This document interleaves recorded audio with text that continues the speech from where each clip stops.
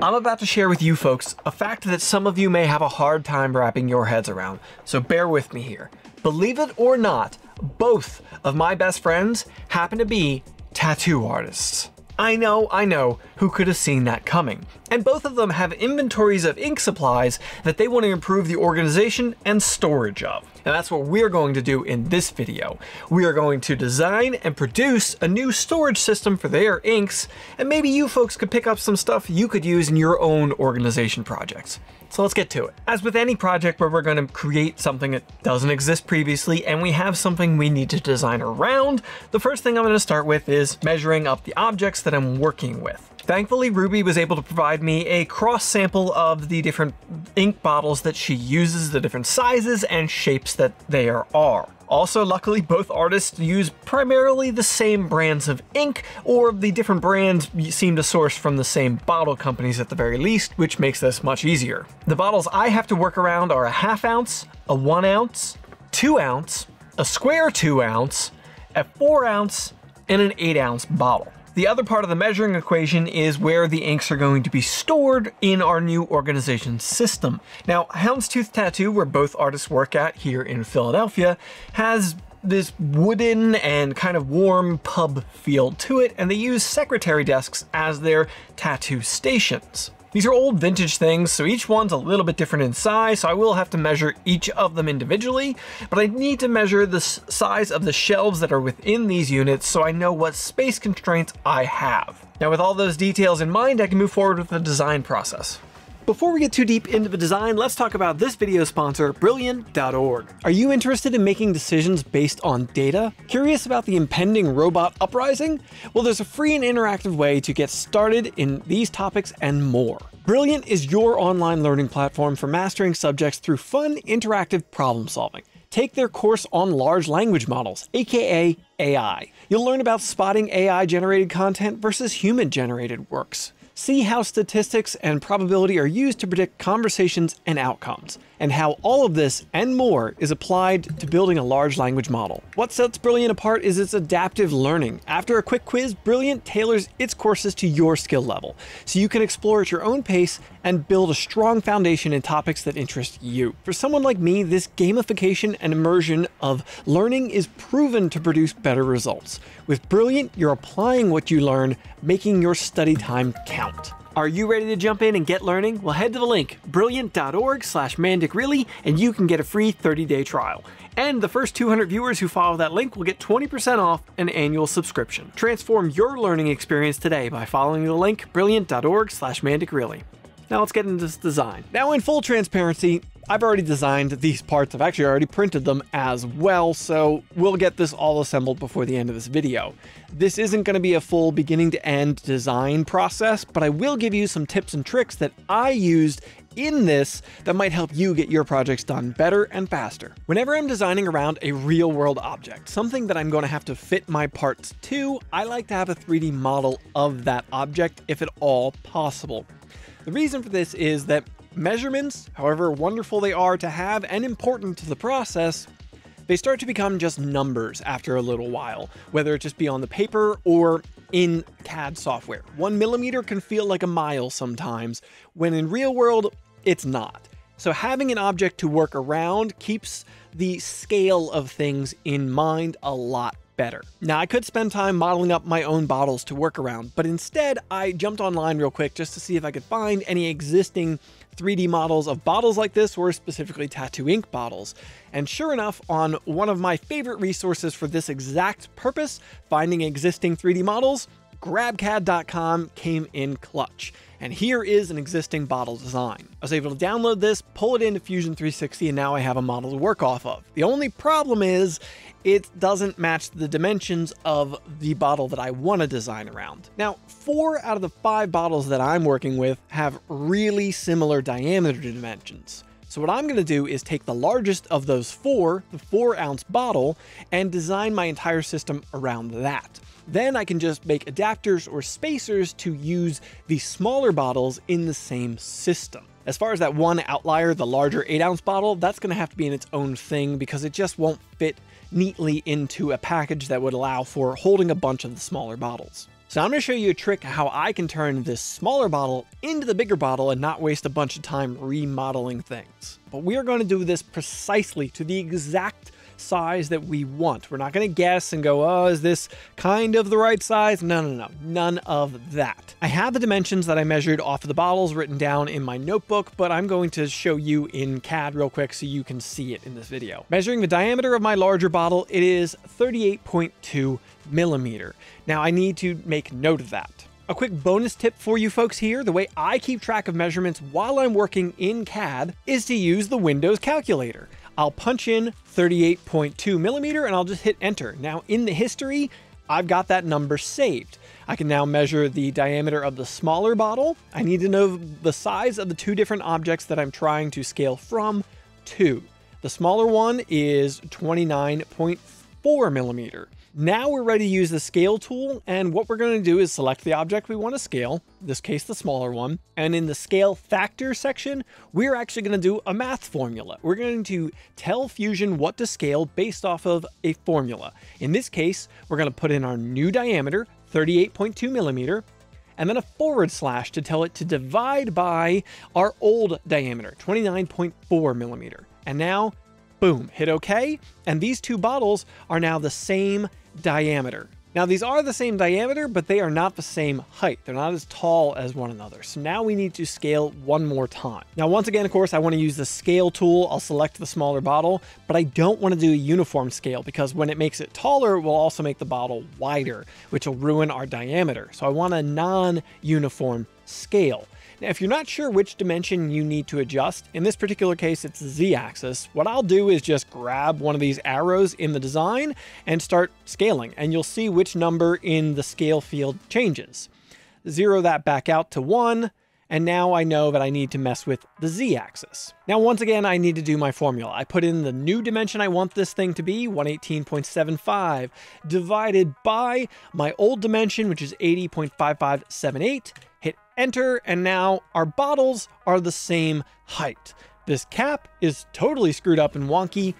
That's a separate subject. What I did when I actually made this bottle that I'm working with is I actually split the cap off of it because I wanted that to remain the same diameter, split that into its own body, and then I could resize that separately and put it onto the bottle to give me the bottle I'm actually working with. You can also scale things down using this exact same method, you just reverse the formula, putting your smaller dimension first, divided by your larger dimension, and that will give you a shrink. I do have a couple other design elements that I want to show you, but I'm going to show you on my final design.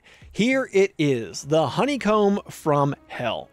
I went with hexagons for the final shape because it's the most efficient design that I could go with. I have round bottles, and remember I have that square bottle shape that's got to fit in here too. So this fits both of those very well, as well as reducing print time and print material used because of the thinner walls between each section. It's just a very efficient use of space. Go figure. Maybe nature's onto something. The reasoning for the modular nature of it is just so I could fit it on print beds and also expand it if necessary.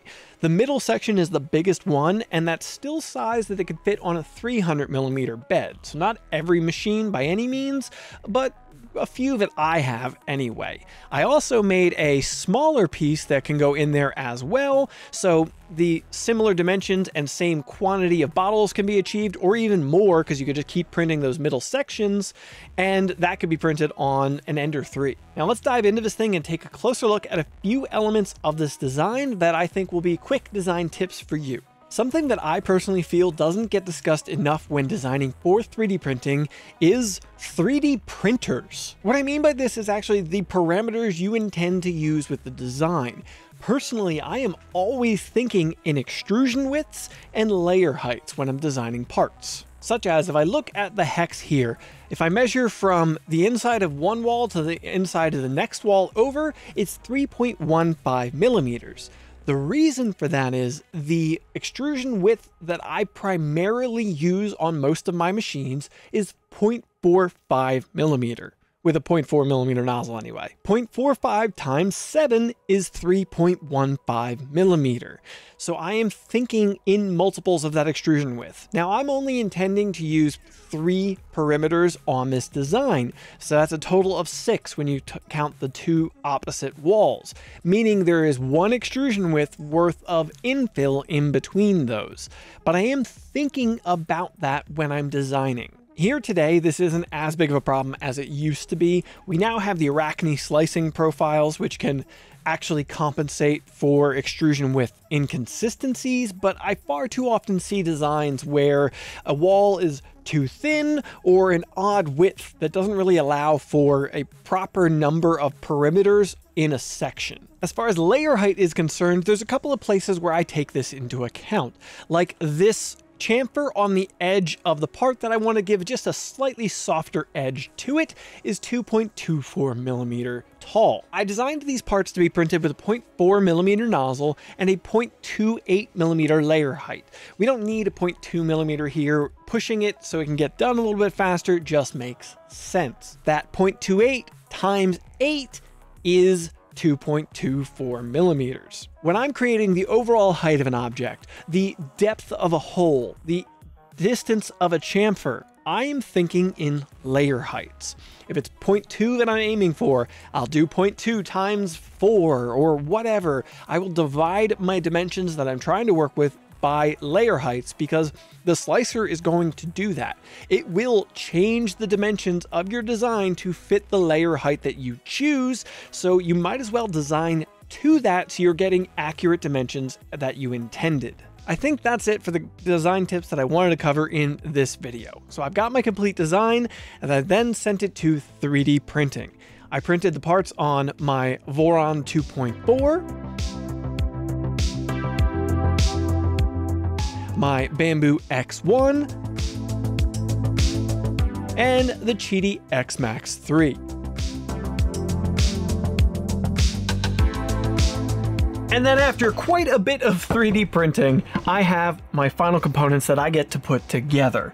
Now, I do have to put a couple of heat press inserts into these because I had to come up with some way to attach the sections together. That's of course as simple as taking out my heat press insert, putting it into the hole, firing up the soldering iron, and pressing it in. Now between print failures and successes, I went through about five and a half kilograms of filament on this project. I tried to keep the material requirement down on this, but they're just big. There's no way around that fact. Luckily, a while ago, I ordered a case of Elegoo Black PLA off of their website. It is a steal at $109.99 for a 10 kilogram pack of them. Now, it took a long time for that to come in. It was somewhere around two to almost three months after I ordered before it arrived, but it's been sitting on the shelf for a while and here was a great project to use that stuff and not spend a ton on filament. I can say I'm not 100% sold on the quality of this filament though. Like these two parts here were both printed on my Voron 2.4 using the exact same slicer settings and they printed differently. The earlier one that I did, which was a different spool than the later one, printed better. It seems like maybe there's a bit of a consistency issue with these spools. I have not tested this in depth to say for sure. It could be something wrong with my machine, but I'm seeing definitely some layer inconsistency up the z-axis and even a little bit of almost layer splitting in this worse print. But for the price of this material and for the fact that you're only really gonna see the face of these when they're on the shelf where they're going, I'm not that worried about it, and I would probably buy this stuff again for projects like this where it's not critical to have the best print quality I can possibly get. Let's get this thing put together and I can show you the last design elements that I need and we can go put this in place with the inks in it. On the back side of the rack, there is a tie piece toward the top that just bridges across from one piece to the next and screws into the plastic. This didn't use heat press inserts because there's just not enough material on the other side of this to put a heat press insert into. And holding the two sections together on the front side, there is a countersunk screw that goes from the inside of one wall into the base of the next side. And a little while later, we have our fully assembled racks. This one here is a little wider, and this is for Ruby because it has these smaller modular sections in its design. The other one is for Evan, and I actually kind of designed this specifically with this larger middle section for him because of a design element that he wants. You see, Evan is one of the owners of Houndstooth Tattoo. He and I built that studio together, and he was very much the driving force of the aesthetic of the space. So the warm wood that it has, well, he doesn't want a black hunk of plastic for a rack in his station, he wants wood to match the rest of the place. So I loaded up a piece of 3mm basswood, into my Xtool P2 CO2 laser. I engraved the Houndstooth logos onto it, then I cut the pattern of this rack into the wood, and a surprisingly short time later, I have a wooden face to go onto here. And here it is with the wood installed on the face of it. It does need to be sanded and stained yet. That is gonna be Evan's responsibility because I need to get this video out. With that, let's go install these in Houndstooth Tattoo.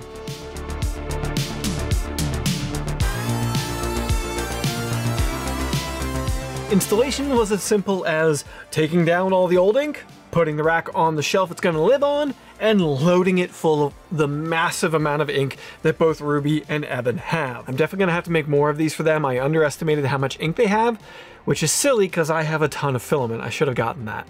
Now on Ruby's rack especially, there's a fair bit of space around each of the bottles. This is because Evan has some bottles that are larger than hers, and I wanted to make a one size fits all kind of solution. So this also allowed us to easily remove the smaller bottles from the rack.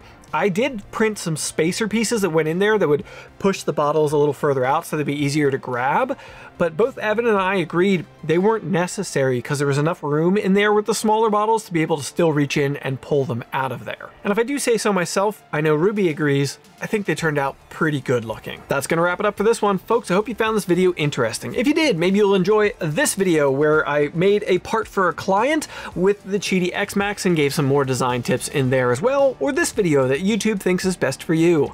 Catch you in the next one, folks.